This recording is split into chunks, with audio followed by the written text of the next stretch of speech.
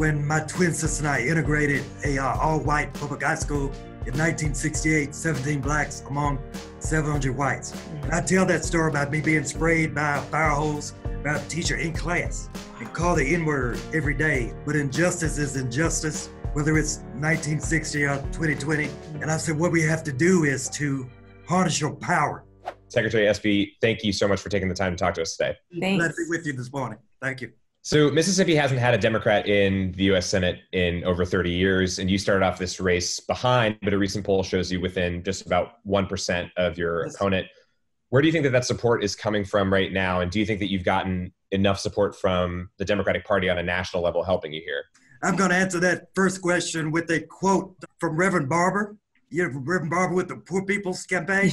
yeah. Mm-hmm. He said to me, I was on a Zoom call with him recently, and he said Mike, Mississippi is not so much red as it is unorganized.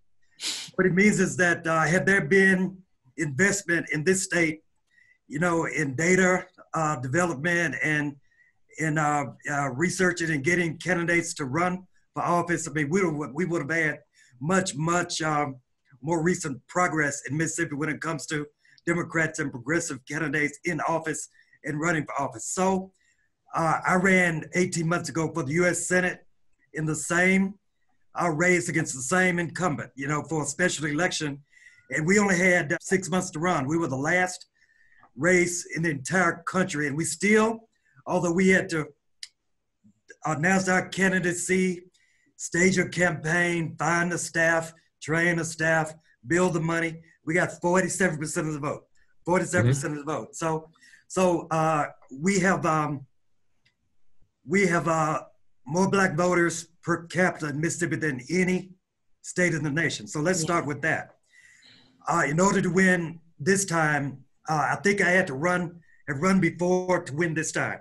Yeah. We had to build a track for our locomotive to run, build a runway for our plane to take off, and build that bridge so I could cross it, and others behind me. So we have built it now uh, because I didn't stop running once I lost last time. So we've got something amazing here built, and what we have to do is uh, continue to build the largest, highest, deepest, most robust coalition in Mississippi's history to get out a vote here in about five weeks. So we have to raise 3% more in black turnout. Yeah. So instead of 32.5% as we got 18 months ago, I really believe that we're going to get more than 3%. So we need to go from 32.5 to at least 35. Yeah. So with Mike Espy having been more experienced, with the younger folks know that even though I've got gray hair, I've done some things in Mississippi, and now they know the story of me integrating a public high school and all of that stories that you've read about. Mm-hmm. And with Kamala Harris on the ticket and Joe Biden, I really think that's the magnet we need to uh, to get that three percent increase. And then we have to go from uh, 18% white vote to about 22. Mm-hmm. In our latest poll, uh, we have uh, we we're right now at 20 strong Espy, so we only need two percent more. So the poll you mentioned, I really believe the I love the trajectory because we did a poll in February, we were nine points down. Mm. We did one in early August, we were wow. five points down. Then this most recent one shows us that we are one point down. If you look at if you go in the weeds, you can see that we have we're plus eight points with white independents we're equal to her with all white voters below the age of 35. Mm-hmm. Now we have a solid 20%. So we're creating that coalition that, that we need. And so I think as for um, a confluence of factors, there's a reason why. First of all, George Floyd's murder mm-hmm. shocked the conscience. Yeah. And it let all the young people know uh, it's okay to be angry, it's okay to protest, but let's cause, uh, let's morph the anger and the protest until maybe even something long lasting, go ahead and elect someone who not only looks like you, yeah. but who understands systemic racism in America. You don't have to talk so much about police misconduct. Right. Whoever you elect already knows that exists, and let's just work to solve it. Mm-hmm. Then we have the Mississippi flag, which is um, yeah, that huge. Confederate emblem on it. That was taken down in about, I'm going to say, two months. Yeah over this summer. I, am mm-hmm. 66. I never thought that flag was coming down. Yeah. That came down because the SEC and the NCAA said we're not we're not going to play any postseason events in your state until that comes down. Mm-hmm. We had some African American football players saying we're not going to play under that flag. Mm-hmm. You have mm-hmm. people like me out saying uh, it is inhibiting global companies coming to Mississippi that flies a flag that's disuniting and is reminiscent of a hateful age. Yeah. Mm-hmm. so that thing came down, and that just shows that people now want a leader to represent the Mississippi that's going now into the third decade of the of the 21st century. And then the last element, and I'll stop and answer your other question, is uh, of course the unfortunate death of Judge Ginsburg. Mm-hmm. That showed everybody around the nation, all races are in play. Right. All races deserve notice. Mississippi, with its, you know, ugly past, can be lifted with more infrastructure, like Reverend Barber said. Give us revenue, mm-hmm. and we can pull out the greatest black voter turnout in Mississippi's history, and we can elect someone that's going to protect the Affordable Care Act, that can make sure we have Medicaid expansion, to make sure we can look and take care of the heart disease and the cancer and all of the maladies of those who are very low income and can't pay their hospital bills. So I'll say to you, it's happening now because we are credible, mm-hmm. shown through the polling, showing as a result of our last uh, cycle campaign, a lot of these issues that are external, the flag and Justice Ginsburg mm-hmm. and George Floyd and the others, and um, and and uh, just we've laid the infrastructure now, so the revenue we get in, we know where to put it. We've got to mm-hmm. get build that three percent black vote up and stay on the air to persuade two more percent of the white population that I'm their guy as well. Yeah, I mean, healthcare has been a really huge part of your campaign this year, in particular, expanding Medicaid for Mississippi. So, can you talk a little bit about why that's so important, especially in your state? It's important in our campaign because you're right, Akilah, it's the number one issue in our state. Even now during the pandemic, I mean, we're a small state with just about 3 million people, but now we've got 3,000 of those folks dead. Mm-hmm. 90,000, almost 100,000 having been infected. And of course, in almost every other state, there's a disproportionate impact on African American. Yeah. So what we have to do is um, is lift up the bottom third. I tell everybody, I'm a senator. I will be a senator for everyone, regardless of age, race, gender, income, sexual orientation. Look, I don't care. If, I'll be accessible and available, but I'm going to focus on lifting the capacity of those yeah. in the bottom third of our economic strata, in education, in job opportunities, and in healthcare. The reason we're so low, the reason we're number 50 and last, and people are so tired of being last, right. is because that bottom one third is so low. So we just lifted. Then we lifted fortunes of Mississippi from 50 up to, you know, within midpoint. Mm-hmm. So we have to do it first with healthcare because everything leads from healthcare. Yeah. If you're sick, you can't learn. If you're sick, you can't work. Right. So if, and if you're sick, you have to be able to pay your bills. Mm-hmm. So we're one of 13 states without Medicaid expansion. All we have to do is just go and, and this is a legislative prerogative, a state prerogative. But as a federal legislator, I can say I'm going to be the healthcare senator.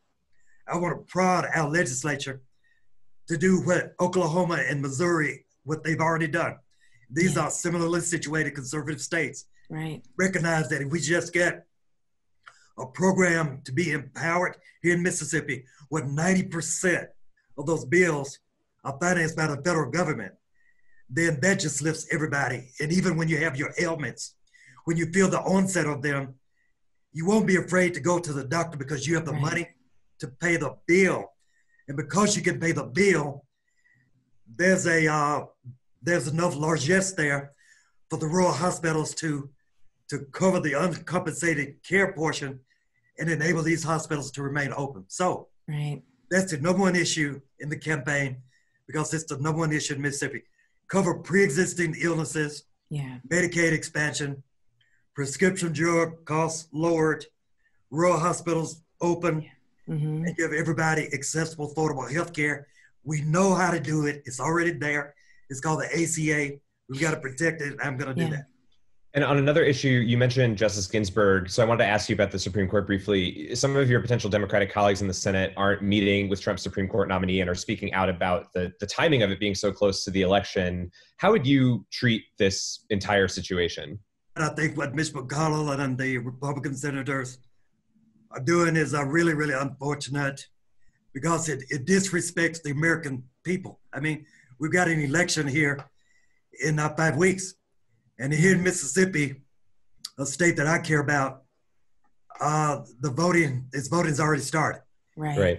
We have in-person direct voting for those who are age 35 and above, those who are disabled, and those who won't be in Mississippi or their home county on November 3rd. So the lines are really long here. So those folks have no say.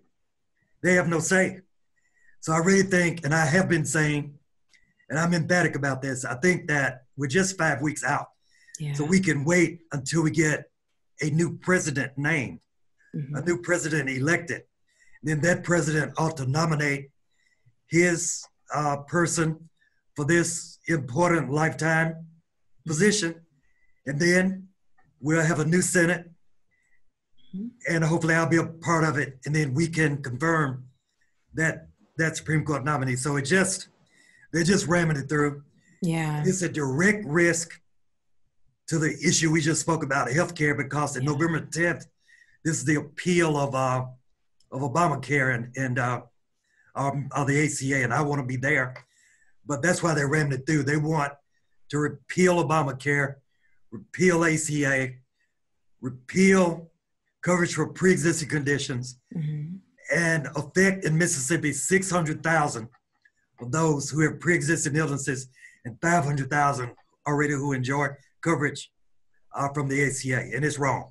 We mentioned the conversation about ACA and healthcare related to the Supreme Court, but the other question that you know people have had about what this could all mean is how it would affect Roe v. Wade and abortion access throughout the country. So, what is that conversation like in a state like Mississippi, where, correct me if I'm wrong, but I would assume that you know some potentially more conservative voters might have their certain beliefs about it. Right. So I've seen a poll lately. It was a uh, state poll, very well respected. That um, that when it comes to issues of um, you know pro-choice and pro-life, that even in Mississippi, the those that favor pro-choice, uh, they're beginning to to dominate uh, in their in their beliefs. Uh, but uh, you know, the candidate I'm running against ardent, ardently uh, pro-life. Uh, I will I will tell you, and I will tell you honestly here again. If someone, I've, I've got a daughter, I've got three children, one one female, two two men. So I tell everyone that now, honestly, if she came to me, it was in a certain type of situation, uh, uh, where this question was was critical. Yeah. Uh, I'd probably I'd probably say let's go ahead and have the have the baby. You know, let's it's incest or rape, something like that. If it's if it's anything other than that, I would probably say, you know, we will help you take care of the child. What's the problem? Let's go back to school and all of that. But that's that's what that's my choice. But at the same time, I recognize if she would if she would choose against my advice, I would say to her, "You're an adult. It's a lawful choice. I'll stand behind you as my daughter. I'll stand behind you as having made a lawful choice. Roe v. Wade is the law of the land, and uh, and let's let's go forward. And so I would say honestly that I am I am uh, I'm pro-choice when it comes to the lawful decision, although when it comes to making that crucial choice with your husband or your mate or your, your physician or your minister, that that's up to you. so we're in the middle of a week where we had our first presidential debate uh, with just you know the final two nominees and i'm sure you've seen that donald trump refused to condemn white supremacy in the debate and he and his campaign have you know i would say attempted to clean it up since but that doesn't mean that they've outright said like we uh, we've changed our position and we denounce it. The senator you're hoping to unseat in mississippi has said some heinous racist comments in the past. Obviously this is a different kind of election year than any in my lifetime for many people in you know memory at all. And with the president refusing to rebuke white nationalism, which obviously should be disqualifying in the year 2020, how can we as a country move forward even after November? Great question. Great question. Well, I watched that debate last night, as you did, obviously, and I was shocked. And uh, when when he was asked that question about uh, rebuking, mm-hmm. you know, white supremacist, he said, um, you know, he said back back down and stand down and stand aside or something like that. Yeah. Instead of just just coming out and uh, doing the right thing, you know, um, it reminded me of an earlier response of his when um, when they asked him, did he did he rebuke David Duke? Mm-hmm. And he mm-hmm. said, David Duke, who's David Duke? Right. And I had heard him today, and he says, um, you know, I don't even know who they were talking about last night. You know, so right. so he's trying to back it up. He knew he knows he stepped in it, and uh, mm-hmm. but you know, this is the same president that called the African continent mm-hmm. full of SO countries. And not demean women and immigrants and all of that. So we know that he's doing all this for a reason. Yeah.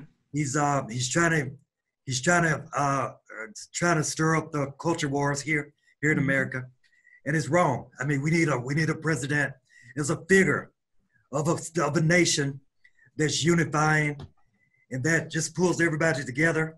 And that's why I'm so happy here in Mississippi that we we took down that flag. I right. mean, that flag was reminiscent of a day when one human being could own another human being. Mm-hmm. And yet it's still flying for 163 years. Right. I'm running against a senator who in 2014 now was a statewide official. She was Commissioner of Agriculture, just as I was U.S. Secretary of Agriculture. Yeah. She went to the Jefferson Davis Museum. She went there. She tried on the little rebel cap with that star in the middle. She tried on the waistcoat. She held a Confederate era rifle. Now, let me stop and say if you want to go to the museum of whatever ilk, that's fine. The Mississippi flag is not in a museum. If you want to see it, go to the Civil Rights Museum. That's right. where it belongs. Mm-hmm. But then when she left the museum, she said, This was the best of Mississippi's history. Yeah. She said that. Mm-hmm. You go to our website, espyforsenate.com, it's all over there. So we have a senator mm-hmm. who said 2014 that that was the best of Mississippi's history, not not 1914, no. 18. She said it 2014. So I tell you, it is not a person who should represent Mississippi going into the third decade of the 21st century. No, she's holding us back. That's why all the young folks age 35 and below are for me. Mm-hmm. That's why all the Black Lives Matter folks are for me. Mm-hmm. That's why the uply mobile, better educated, mm-hmm. those that make up that 20%, they're for us because they know I'm going to represent everybody. You know, Fannie Lou Hamer lived and died for the right to vote. I spoke this weekend in the Vernon, Vernon Dahmer Park, Hattiesburg, Mississippi. You know, Vernon Dahmer was firebombed mm-hmm. just for just for exhorting others to vote. I, I believe they died for a new flag. They died for open voting. Right. They died to, to against voter suppression. And so I am somebody that wants everyone to vote, everyone to feel like they're living on a welcoming symbol, mm-hmm. and everyone to just unify. And so I would say, in answer to your last question, we just need people who don't believe in divisiveness, right. people who whatever choices an individual makes acknowledges that that's the choice that they made. Right. And I will represent everyone regardless of that choice. That's absolutely right. Right. Last thing to the point that we were just talking about before, obviously this is a state that Trump won. And so I would assume that some of the folks that you talked to may have been sympathetic to Trump before or are currently still sympathetic, but are maybe wanting to hear what you have to say. What are those conversations like? And have you had the opportunity to talk to any of those people since the debate? You know, have they have they said, "What the hell was this guy talking about"? Honestly, I'm sensing a difference, and as we're seeing it in our poll. Mm-hmm. Uh, President Trump in my latest poll has lost eight points in Mississippi. Eight. Wow. Uh, and so, I mean, he's still beating Joe Biden, but not nearly by as much as he beat Hillary Clinton. Right. And then we we've gotten down into the weeds, and now those folks are ashamed that he called out veterans uh, losers and suckers. Right? Mm-hmm. He did that. They remember when uh, this is a Bible Belt state, and he uh, in answer to a question about did he pray, he said, "Well, um, he said I've not done anything of which to be forgiven." Wow. Those things, those things stick. Yeah, I mean they're just uh, indefensible. He's enough women. So I think there's an aggregate impact now on all of this. And so now when, when he doesn't win, and I don't think he will, I think I think they're going to miss the judges and all that. But as far as the personality, there they know what he said about COVID that it was a Democratic hoax, that it was going to mysteriously disappear, and so it's still around us here in Mississippi, and they know he lied to them. Mm-hmm. So these this is just error after error, lie after lie, compounding, and I think now uh, that's why he's lost eight points. Yeah. And last night was was uh, another example of his boorish behavior, his bullying tactics, and someone maybe who knows he's lost, and he's just flailing around breaking china like a bull in a china shop. Yeah. I mean, I'm curious, you know, we're millennials, we're getting more and more political power and voting in larger numbers. Uh, and Gen Z is finally being represented in the polls in a real way. And so, as a person from the South, I'm from Kentucky, which I think okay. to you all, I'm a Yankee, but but regardless, I do think that there has been a conscious effort uh, in our generation to sort of reframe the narrative that this country has about the yes. South. And so, have you felt in your own campaigning that young people who are joining your campaign and are out there, you know, speaking to people and voters about the issues that you care about and trying to, you know, make sure that people are empowered to vote? Do you feel that, you know, this time around that that's more you've seen more of that or that it feels more impactful because young people are finally gaining that power? What I think I've done more in this campaign is to connect my story to their story, connect what I went through four years ago during Jim Crow, Mississippi, to uh, to their sense of injustice. All right, and it's really the same. It's uh, it's it's it's it's it represents itself in different forms, but injustice is injustice. Someone who feels superior to you whether it's 1960 or 2020, it's, it's the same uh, vestige of, of uh, visceral mm-hmm. superiority, okay? So I tell my story when my twin sister and I integrated a uh, all-white public high school in 1968, 17 blacks among 700 whites. Mm-hmm. And I tell that story about me being sprayed by a fire hose by a teacher in class and call the N word every day almost and fighting every day or running from a fight every day. And I, you know, I say I'm not John Lewis and I'm not Bernard Dahmer, but I've had my experiences and I connected to them. Mm-hmm. And I said, what we have to do is to harness your power. That sense of, uh, that sense you have of violation, that sense you have of, uh, of, of loss, and that anger you feel about social injustice in your days must be harnessed to something permanent, right. which is voting, whether it's for a mayor that that that fills a pothole in the black community, mm-hmm. or somebody that wants to help you graduate from school with no debt, or somebody that goes to Washington to vote for the Affordable Care Act. So when you break your arm, you only have to pay 10% of that bill instead of 90, you know? Right. I think I've done that now. So we've harnessed, I think, millennial um, favor. Mm-hmm. We are, that's why with white millennials, those under 35, we're there with them now. Mm-hmm.